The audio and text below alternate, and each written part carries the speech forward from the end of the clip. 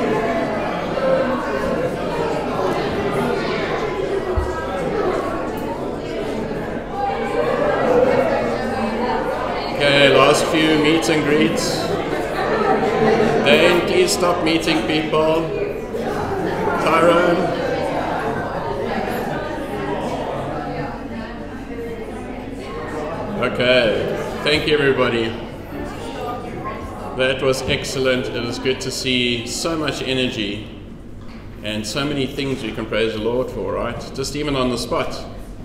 And that was the, thought that struck me as I started preparing for this message is, and the challenge I set to myself is when last have we just suddenly and spontaneously burst out in praise for our wonderful and awesome God? When last have we done that? I mean, on Sundays we sing songs that praise Him, so it's kind of programmed in, but when in your day have you just stopped and praised the Lord for something? In the passage we're studying today, Jude, the last two verses, is what's called a doxology. A doxology. It's nothing to do with dogs, it's a doxology with an X. And the word comes from the Greek word doxologia, which means praise or glory. And it's a combination of the Greek word for glory, which is doxa, and the word logos, meaning a speaking. So a speaking of glory. But the interesting thing about doxologies is that over the centuries, they've become very formulaic, very programmed in. And in fact, they are a standard part of church tradition. Some of you may be familiar with the, the, the, the doxology. Many churches have the doxology that is sung either at the end of a service or even as an ending to an hymn. You will click into the doxology. Oftentimes, these doxologies are sung without any real thought to the meaning of the words uh, contained therein. And I guess until I'd done this preparation, my experience of doxologies, if you'd asked me, I would have said, well, isn't that something that the Catholic Church does? Or the Anglican Church? So they do doxologies, don't they? Um, in fact, when I was um, in primary school, my first primary school was, in, was attached to an Anglican chapel, and I remember in the mornings we'd go to chapel and we'd sing a doxology. But the reality is, is that the Bible is full of doxologies, full of passages where the authors pause and turn to God and pour out praise and glory to Him. Deuteronomy 32, verses 3 to 4, is an example. Uh, these words may sound familiar. It says, Ascribe greatness to our God. He is the rock. His work is perfect. For all his ways are justice, a God of truth and with injustice. Without injustice, righteous and upright is he. That was the first song that we sang this morning.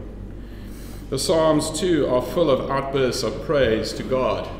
Uh, Psalm 72 reads, Praise be to the Lord God, the God of Israel, who alone does marvelous deeds. Praise be to his glorious name forever. May the whole earth be filled with his glory. Amen and amen. And I encourage you this morning, when we praise the Lord, you may say a hearty Amen. And it's not just the Old Testament that shows us how praiseworthy God really is. Also, in the New Testament, we find a number of doxologies or sections of praise where the, the author turns to just praising the Lord. Uh, for instance, at the beginning of Ephesians, Paul writes this He says, Blessed be the God and Father of our Lord Jesus Christ, who has blessed us in Christ with every spiritual blessing in the heavenly places. And it's not just Paul. Peter ends his second epistle, Second Peter, uh, saying, But grow in grace and knowledge of our Lord and Saviour Jesus Christ. To him be the glory, both now and to the day of eternity. Amen. And so we see that praises are an important part of the believer's life. And so, even in this book, as we conclude, a book that is about a warning about false teachers and the judgment that these teachers will face, any actions we need to take as believers, it is not surprising then that Jude, having written all about that, completes his book with this praise. And in Jude 24 and 25, he writes, Now to him who is able to keep you from stumbling and to present you blameless before the presence of his glory with great joy, to the only God, our Saviour, through Jesus Christ our Lord, be glory, majesty, dominion and authority, before all time, now and forever. Amen. And so, in this marvelous end to this book, Jude is reminding us that we need to praise God. And he's showing us that we can always praise God for two things. We can praise God for what he has done for us, and we can praise God for who he is. So let's, let's bow our heads and have a word of prayer. Father, we just come before you again, and um, as we prayed before, we, we just ask that as we learn some more of this truth from your word, Lord, that our, our hearts would be um, open and receptive to your words, Lord, that we would um, be able to examine ourselves and our lives, Lord, and uh, make the changes that would be pleasing to you. Lord, we thank you for the incredible reminder we have of how praiseworthy you are. And we, we pray that uh, having learned what um, Jude has before us, Lord, that we would be conscious to praise you more often. Pray, pray this all in your Son's precious name. Amen. So if you haven't, please turn to Jude, uh, second last book in the Bible, and we're going to be looking at verses 24 and 25. And true to form, um, I almost want to call Jude the microwave book because you get in a few short verses, you know, an entire sort of long epistle's worth of content. And um, in these few short verses, we're going to learn about the reasons we have to praise God. So, looking at verse 24, and verse 24 starts off, if we look just right at the start there, um, it says there, to him. It starts off with the phrase, to him. Some versions actually say now to him, depending on the version you are reading from. And it's a reminder to us about when is the best time to praise the Lord. And the best time to praise the Lord is now. And if you haven't praised Him now, then the next best time to praise Him is now. Right? It's actually great that Jude starts off this little last section this way. He's been so busy dealing with the thing he felt compelled to write about. Remember, he wanted to write about the gospel and the deeper truths of the gospel, but he felt compelled to write about false teachers and I need to contend for, to compete for uh, the faith. And he's just concluded the section that we heard um, last week about the role the believer has to play in contending. How are we going to fight? How are we going to how are we going to compete for our faith against these false teachers who are already doomed and judged? And then, having done all that, he can't help but now turn to his Lord and praise him. And so he starts off saying, Now to him. And so that is a reminder to us that there's never a bad time to praise the Lord. Jude isn't praising God because of false teachers. In fact, you might say it's unusual that there's praise here because it's such a gloomy subject. We spent a number of Sundays going, Oh, it's such a gloomy book. Oh, it's such a gloomy subject. Oh, all the false teaching out there. But the point here is Jude isn't looking at that. He's not praising the Lord for his circumstances. He's praising the Lord despite the circumstances. Despite the fact that there's this issue that must be dealt with, this threat of false teaching, he is praising the Lord. And that's because now is the time to praise the Lord. We don't praise the Lord because of things that are going right in our life. We don't praise Him because things have gone well. We praise Him for who He is. We praise Him for what He's done. And that's what we're going to unpack now. And so it doesn't matter what kind of day we have it. It doesn't matter what kind of week it's been. It doesn't matter what kind of challenge we're in the midst of, what kind of trial we're facing. It's always the right time to stop and to turn and to praise them. And so that's what Jude is showing us here at the start of this verse. And then Jude goes on to praise God for two things that God has done. The first thing that he praises him for is the way that God preserves our earthly testimony. God preserves our earthly testimony. And he writes there, Now to him who is able to keep you from stumbling. He's able to keep you from stumbling. Now, what that really means, stumbling, for believers means sinning. It means something has gone wrong and we have stumbled in our walk with the Lord and we have sinned. And it's a really good question because I don't know about you, sometimes you just think about, well, how can we not stumble? Uh, particularly when it comes to this whole concept of false teaching and false religions. I mean, if you look around, it feels like that's the norm, not the exception, right? Um, so many churches, even churches who on the outside look like they are like minded, are preaching and teaching ideas that are wrong. And it's so easy to stumble. Some churches are adding to the gospel. Well, you're saved, but have you had the second blessing? Some churches, it's all about the sensual worship. If worship isn't 45 minutes and highly emotional, and half your congregation is kind of in an emotional trance, they don't see that as successful. Some churches adopt what they call um, a seeker sensitive approach. If you go into a church like that, you won't even know you're in a church. You'll think you're in a really cool coffee shop with a band. Uh, many churches, the focus on a faithful walk with God has been replaced by a focus on numbers and income. Success is about how many more people have come through the doors and how the giving has grown. In other churches, the quest for holiness has been replaced by a pursuit of health, wealth, and prosperity. These days, it feels like when you walk into a Christian bookstore, it's these ideas you see on the shelves. And so it is easy to stumble. We're surrounded by this false teaching all around. But Jude is reminding us that God is able to keep us from stumbling, despite all of these things around us, despite the pressures in our lives, despite the temptations that we face. The question is how? He is able, but will he? Or, or when will he? How does that work? And um, the simple answer is this we have to be growing as believers. We have to be growing. We can't just be coming every Sunday and getting a reminder of who God is.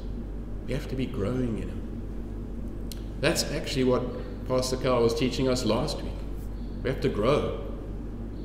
We have to be learning more about Him. We have to be becoming a bit more like Him. We have to be mastering more of the Word. Uh, Peter talks about this in 2 Peter 3:17. He says, uh, "Therefore, dear friends," and what he, he's writing right at the end of 2 Peter, where he also deals with the topic of um, different heresies and false teachings and objections that are there to the gospel. He says, "Therefore, dear friends, since you have been forewarned, be on your guard." Be on your guard so that you may not be carried away by the error of the lawless and fall from your secure position. And then he says in verse 18, but grow in the grace and knowledge of our Lord and Savior Jesus Christ. So we have to be on our guard and we have to grow. Those are the things we need to do. And if we are on our guard and if we are growing in the grace and knowledge of our Lord Jesus Christ, then He will keep us from stumbling. That's how it works. And so, how do we stay on our guard? Well, that was last week's lesson. Um, we have to remember the words of the apostles, we learned in verse 20. We have to remember the, the prophecies and the, the truths that are in the Bible. And when we're in those situations, apply them. We have to build ourselves up in the faith. We have to study God's word. We have to get to know more of it. We have to memorize it so it's here. And we have to pray in the Spirit. Praying in the Spirit is not some strange mystical thing, it's praying according to God's will. We have to pray for guidance, we have to pray for holiness, pray for growth. Um, I enjoyed when Pastor Carl was praying for the church this morning. You he prayed, as Scripture directs us to pray, that we would grow in grace. Uh, we have to keep ourselves in God's love, confessing our sin. We have to wait on God's mercy. We have to do these things, not just know about these things, because if we don't, that's when we become vulnerable. And it's just when we're not doing these things, that's when we are prone to stumble. And before we know it, somewhere we could be hooked on some false doctrine, some false teaching. You know those ones that are nicely packaged. They have their beautifully packaged books, they have the DVDs, they're in the podcasts, incredible production value, but no spiritual value. And so it's important that we continuously immerse ourselves in the God's truth. There's a story, a well known story, about um, someone who was being taken around a bank. And uh, the manager of the bank was showing them the tellers, and they were talking about counterfeits. And uh, this visitor was saying, you know, sure, how do you how do you train your tellers to spot counterfeit notes? Because you must get a lot of that. Uh, you know, do you keep all the ones you catch and then sort of train them on how to spot the differences and those kinds of things? And the manager replied, and he said, No, we never do that. He said, All we do is we make sure that they only ever handle the genuine article. In their training, they only ever handle real cash. And the visitor was amazed. Like, but how does that work? And he said, it's once you know what the genuine note is like, you will always be able to spot any counterfeit because it is always different. And it's the same with us as believers. We have to immerse ourselves every day in God's truth. That way, when we come across something that is not God's truth, we'll know it. We don't have to be experts on all the false teaching out there. We don't have to be experts to know all this thing and that thing. We, all we have to do is be experts on God's word. And then we'll know.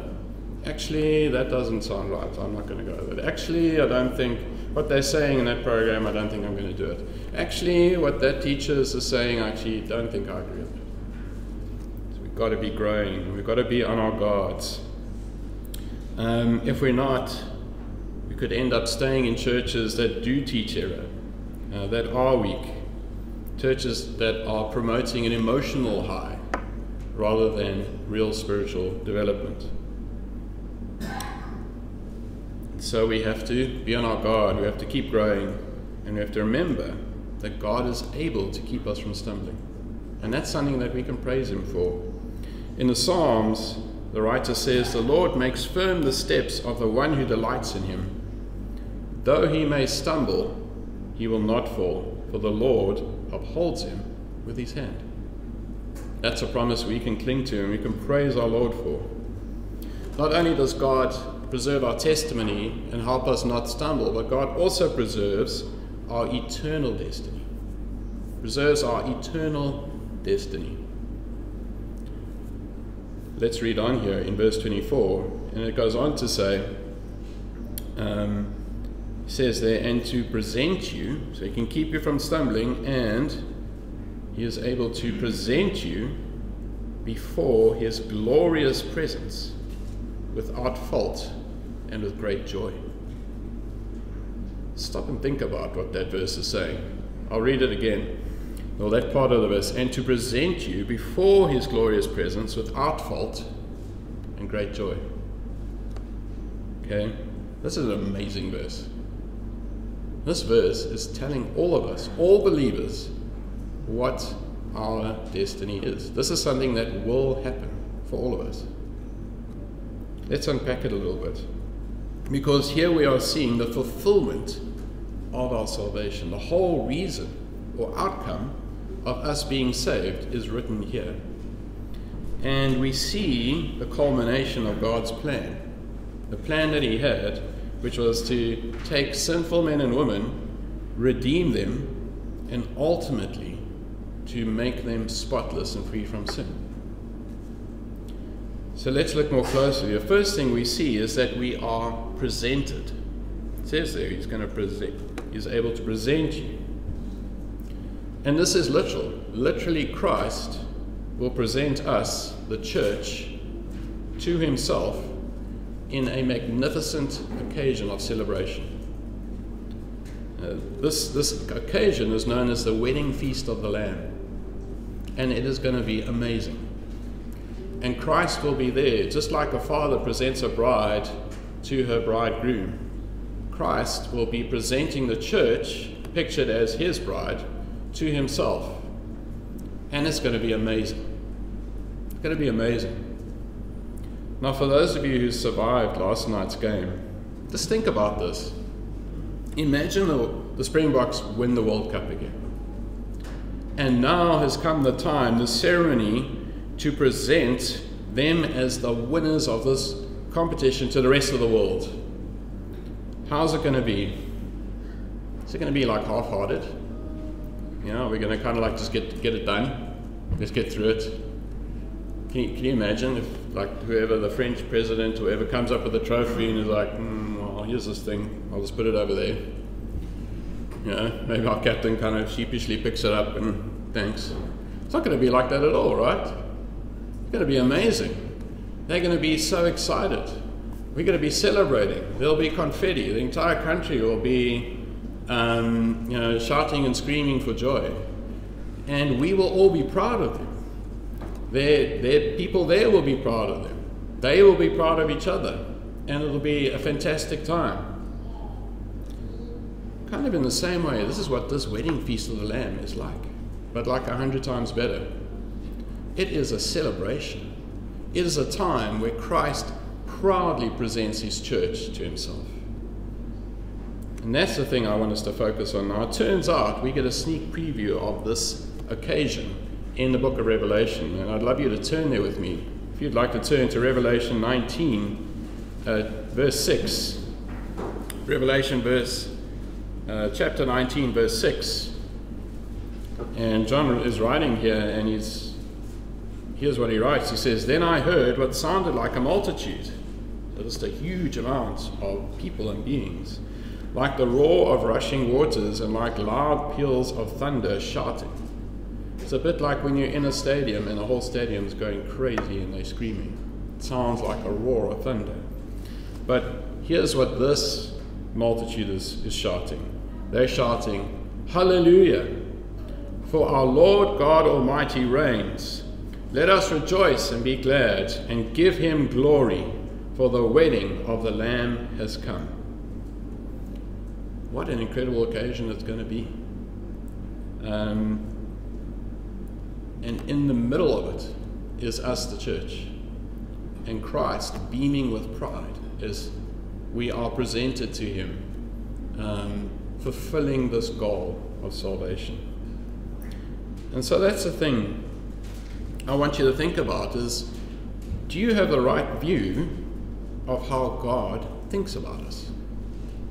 Do you have the right idea, view of how God thinks about us? Because I think sometimes that when you ask believers how God feels about them, we almost feel a little bit embarrassed, or we feel a little bit uncertain, or we feel a bit guilty. We're like, well, kind of like God just let us in in the back door. Or maybe, you know, I don't know how, but, but yeah. Yeah. Some of us may say, well, I know God loves me because we've been taught that. But the challenge here is these verses say that God loves us. Are we living our lives feeling that? Are we living our lives with this thing ahead of us, this guaranteed event where God is going to proudly present us to Himself as His bride? That's how He feels about us. Are we living our lives now realizing that? Because that's how He feels about it. I was chatting to one of my family and saying, you know, do you know how proud God is of us? Do you realize that? And um, I had a great answer. The answer is like, but why? They were taken aback, like, why? Why would God be proud of me? I haven't done anything. What have I done that's made him proud? I thought it was a great question. And the answer is God is not proud of us because of what we've done. He's proud of us because of who we are He's proud of us because of who we are now in Christ. You see, God has prepared us for this moment. He has prepared us for the ceremony. He has made us ready. And He has enacted this incredible truth that we call the gospel as the way of preparing us all for this occasion. You might say, but I, have so many faults. Uh, you know, I'm a sinner, I've done so many things wrong. And that's a wonderful thing. Is at this ceremony, they're all forgotten. They're gone. No one is talking about those things. Christ will say, I have died that they have been, so that they may, may be forgiven and forgotten. And when all our sins are paid for and stripped away and gone, what's left? only our new man, our new, pure, holy souls. You remember from Romans, we spoke about salvation having different stages. First, we are justified. That is when we are forgiven from our sin, and God swaps Jesus' righteousness for our sin. Um, an easy way to remember it is justification is just as if I had not sinned. And then we have sanctification, which is where we are now, where as believers we are learning to live lives that are worthy of that righteousness. And then when we die, we are glorified. So we finally get rid of this sinful body and we are given our new bodies and we are glorified. And all of that is the preparation that leads to this incredible ceremony, this incredible celebration where we will be formally presented to Christ. Um, and we will be holy and blameless. But not only that, if you read further in Revelation 19, um, it says there, Let us rejoice and be glad and give him glory, for the wedding of the Lamb has come, and his bride has made herself ready. And verse 8 Fine linen, bright and clean, was given her to wear. Fine linen stands for the righteous acts of God's holy people. We're not only may be pure and blameless and holy, we are going to be stunningly radiant, resplendent, uh, amazing, because we will be clothed in all the righteous acts of the church, of the saints. Picture in your mind the most amazingly beautiful bride, and picture in your mind the most amazingly noble bridegroom. And that is just a small fraction of what it's going to be like for us. This is our destiny, and God will present us proudly in the ceremony. And so, surely, this needs to affect how we live today. This is the, this is the destiny awaiting us. Then, how we live today needs to change. And just like if a bride is preparing for her wedding, if she does certain things, we'd think she's crazy, right? So if she suddenly is knowing this amazing wedding's coming and she goes, ah, oh, yeah, I think I'll look up all my old boyfriends and just, you know, rekindle the friendship, we'd be like, are you mad? Or if you meet her and she's like walking around going, oh, end of single life, this is so terrible, we'd be like, you're crazy. But the funny thing is, we do that as believers. We have this amazing event waiting for us. We're going to be united with our Savior. How are we living our lives? Are we looking around and being distracted by the things of today, the problems of today? Are we taking our eye off Him, our bridegroom, and getting involved in other stuff? The old boyfriend? We don't have to do that. With friends, we need to be focused on this destiny. And when we are in trial, or when we are confronted with a false teaching, we need to remember that God um, preserves our destiny. And that gives us confidence, right? Because that event is guaranteed to happen. Tyron, you mentioned it earlier.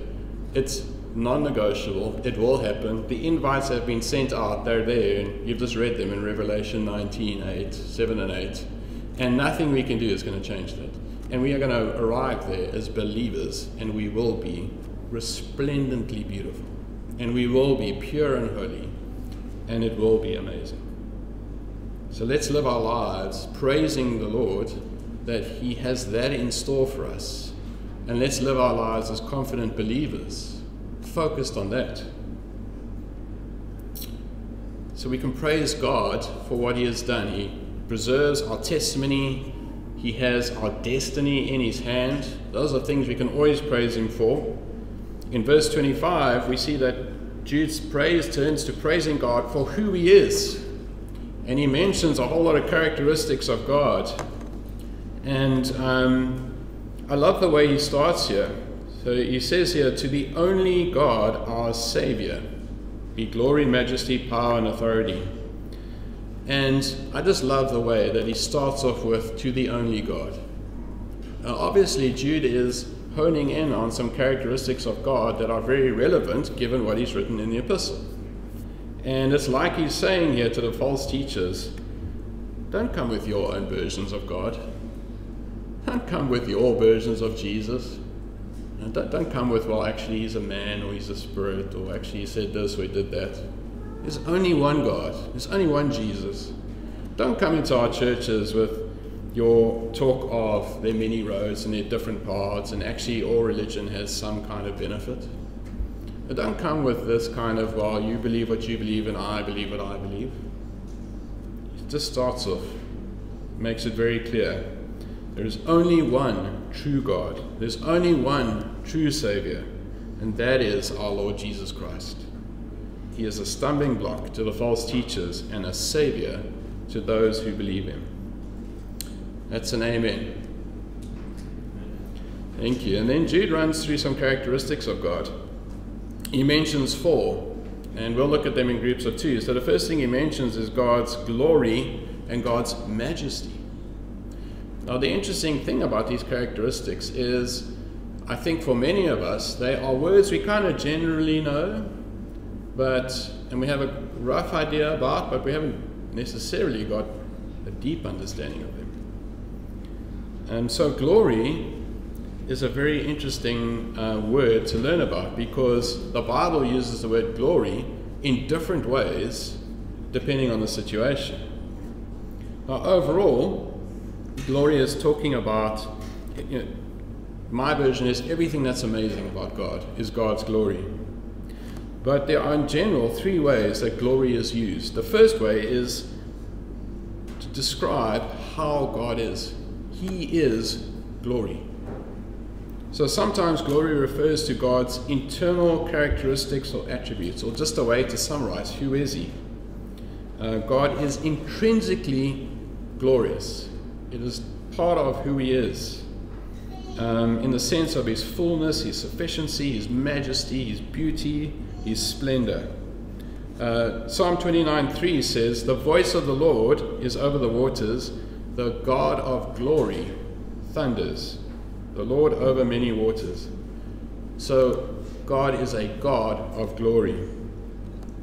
Glory can also talk about how God manifests, how God manifests into his creation, how um, he reveals his presence in his creation. And God manifests himself. Sometimes he reveals his presence physically. Sometimes he displays his attributes. Sometimes he is manifesting in person for instance, in the person of Jesus Christ.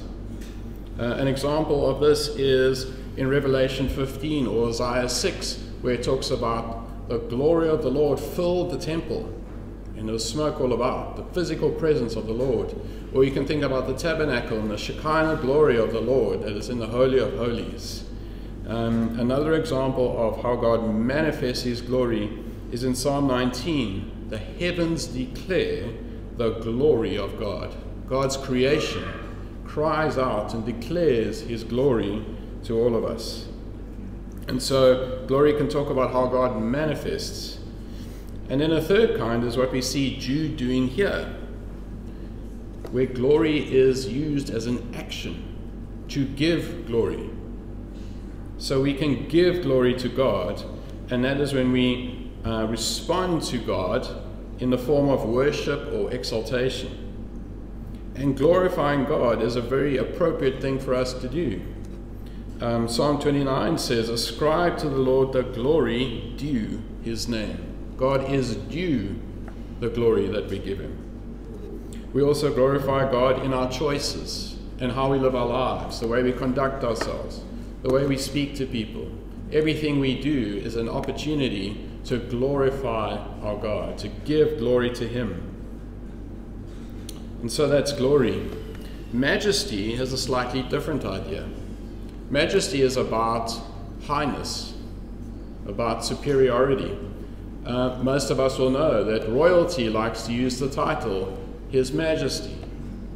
Uh, and that is meant to indicate that they are of a higher station than everybody else. Um, and so, majesty is a often a superlative term, meaning higher than, superior to, or mightier than everybody else. And so God is the one of ultimate majesty. He is the highest one. It is right that we think of him more highly than anybody else. So you have majesty, that highness, that esteem, that superiority, and that is something that um, contributes to the glory of God the amazingness of Him. So when we praise God and when we give Him glory, we actually create a virtuous circle of glory. Create a, a virtuous circle of glory. So check this out. So God, who is glorious, He then communicates His glory through His creation, His word, uh, through us as believers, through uh, things that He does as God's people, we then respond by glorifying Him. We glorify the Lord. God receives that glory and, through uniting us to Christ, shares His glory with us because we are united with God in Christ. And all of this contributes back again to God's glory by glorifying Him and Him sharing that glory with us and being glorious, and then all of that also contributes to God's glory. And so you have a circle of glory. The more we glorify God, the more He is glorified, the more we can glorify. And so we must praise the Lord. Such an important thing for us to do. We need to cry out and declare that He is glorious. We need to praise Him for His majesty. And we need to be in stark contrast to the false teachers who are disinterested in their own glory, their own popularity, uh, what they can get out of this thing. And so that's glory and majesty. Jude goes on to talk about God's power and authority. And again, these sound similar but are different. God's power is really demonstrated by his ability to accomplish his will in every situation. God's power is demonstrated by his ability to accomplish his will in any situation. And so God's power is always connected to God's will. And we see God's power when we look at how his will has been achieved. Let's look through history. Through God's power, he brought the creation into existence. Through God's power, he has created man. Through God's power, he performed miracles and protected Israel as they escaped Egypt and traveled to the promised land. Through God's power, we have salvation from sin. It was God's power that resurrected Jesus. It's God's power that creates a new person in believers. It's God's power who protects the church. It's God's power that has made sure His word has endured, and it's His power who will glorify us and ultimately result in a new heaven and a new earth. Our God is a God of power, and we can praise Him for that. But He's also a God of authority. Authority relates to the freedom or the right to act without hindrance. The freedom or right. And particularly that last part, the right to act without hindrance. So power can give you that freedom, but authority is about the freedom and the right to do something without hindrance, without anyone stopping you. All authority begins with God. We learn that in Romans 13. And He has given us authority. What has He given us authority for? Well, He's given us authority to share the gospel. We have the authority. Someone ever says, Well, who gave you the right to tell me this? Well, actually, the, the real answer is God. Christ gave us the authority in Matthew 28 18. We have the authority to enter God's throne room and pray at any time. Realize when you're praying, you're entering His throne room. We have the authority to be called sons of God. And um, today, God's authority is found in the Bible, in the Word. We all defer to the authority of God's Word. So God gives us authority, He also gives us power.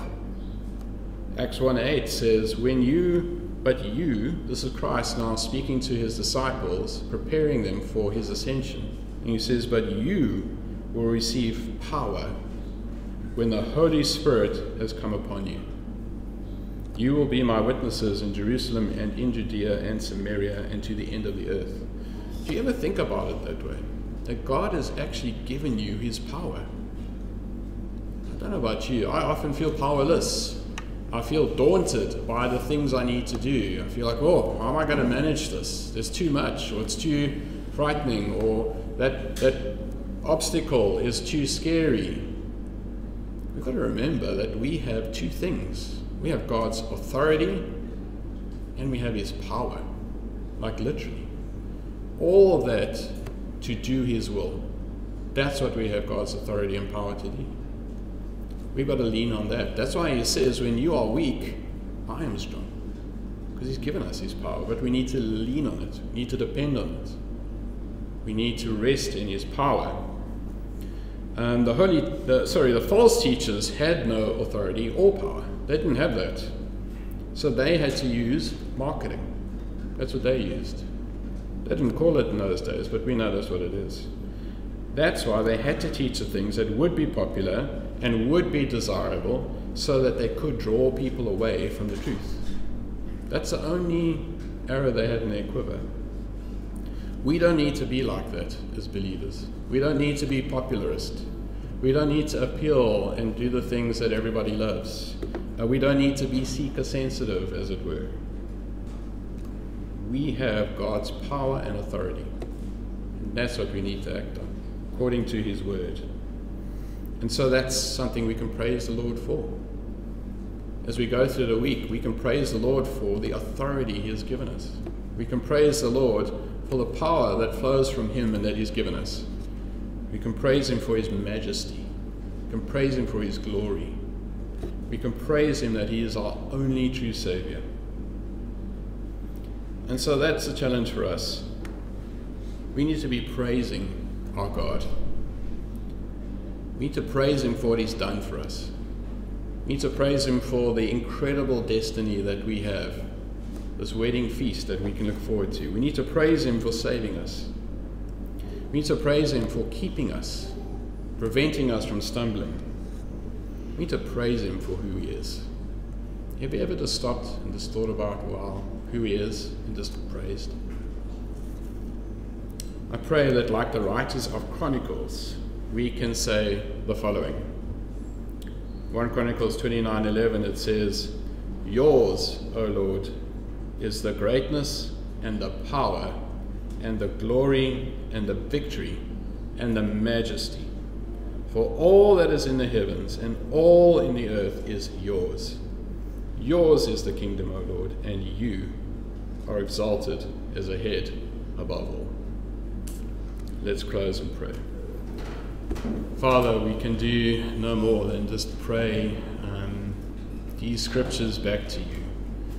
Lord, we are so inadequate when it comes to praising you. And you are so glorious and majestic and have done such amazing things for us because you loved us.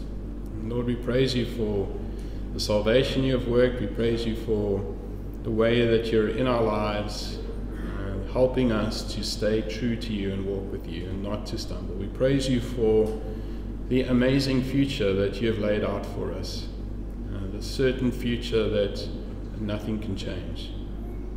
And most of all, Lord, we just praise you for who you are. You are praiseworthy.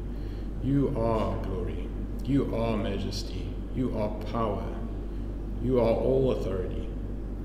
And we praise you, Lord. Help us to praise you more Help us in every moment to remember that now is a good time to praise you. Pray this in your Son's name. Amen.